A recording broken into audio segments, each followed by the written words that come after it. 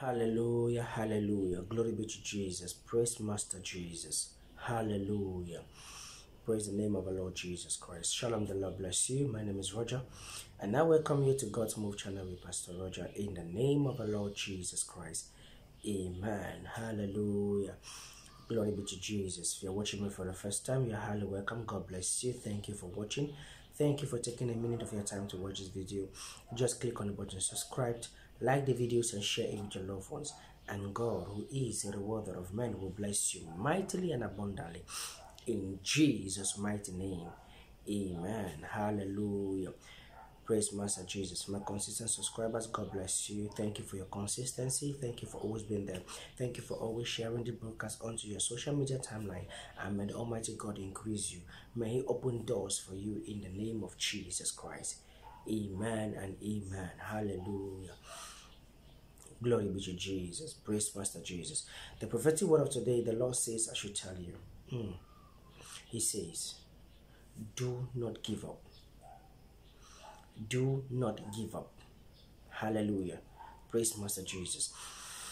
You have toiled so long. You have been struggling. You have been put, you've put in a lot of effort to make sure your relationship stands. Now, someone is coming from nowhere, from nowhere, without any effort, without any, without any understanding of what you've put in place to bring disunity, to bring separation between you and your partner. Someone is there trying by all possible means to make sure that there is that separation between you and your partner. And you're at that point of almost you're at that point of almost giving up on your partner. You're at that level of almost saying oh i have tried to the best of my ability i have struggled to make sure let this stand i have struggled i have tried but things are not working out the way it should be mm. Mm. The fact that things are not working doesn't mean you should give up on your partner. No. This is just a trial period. This is just a trial period. But if you succumb onto the circumstance, if you succumb onto the presence of these minor storms in your life, therefore you will lose your partner. And if you lose your partner, that means you've lost a valuable person, a valuable asset in your life. Hallelujah. Praise Master Jesus. The Lord said, I should tell you, do not give up. Never you give up on anything. Do not give up. Despite what comes, despite the situations, despite the challenges, despite the persecution, just despite the, the, the, the circumstances you may find yourself into, the Lord said, I should tell you, do not give up. Do not give up. Stand firm. Stand firm. Hold your partner. Stand firm pray together like never before. For a family that prays together sticks together. A family that prays together sticks together.